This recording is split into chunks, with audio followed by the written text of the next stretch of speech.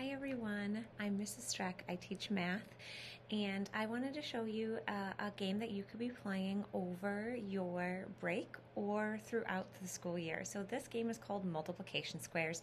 You may have played squares as a child where you connected the sides and, and saw who could fill in the spaces. Uh, this game feels very similar except it includes multiplication. So what you're going to want is the game board, um, a different color marker for each person playing, and then two dice. If you don't have dice, you could use um, cards. Like if you have a deck of cards, you could use those. You could just write on post-its the numbers one through six. If you only have one dice, that's okay. You can roll one and then uh, roll that same one again. So uh, for this game, the way it would go is player one would roll their dice and get six and five and uh, and think what is six times five you could do your count bys. You could count by five, six times 5, 10, 15, 20, 25, 30. Oh, six times five is 30.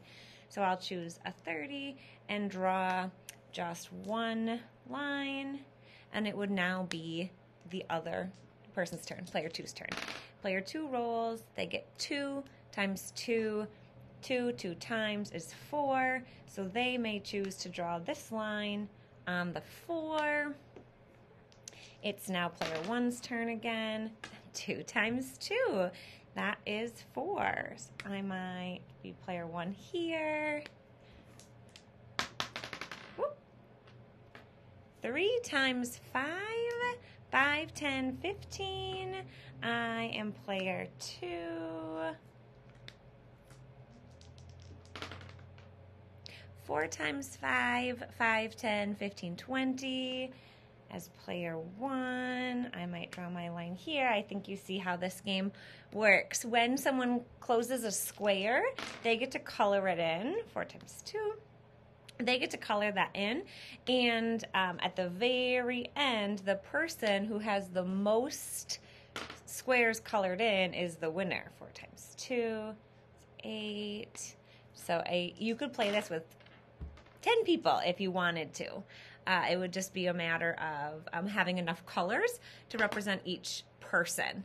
Um, your child has played this already in my classroom, so they should know how to do it.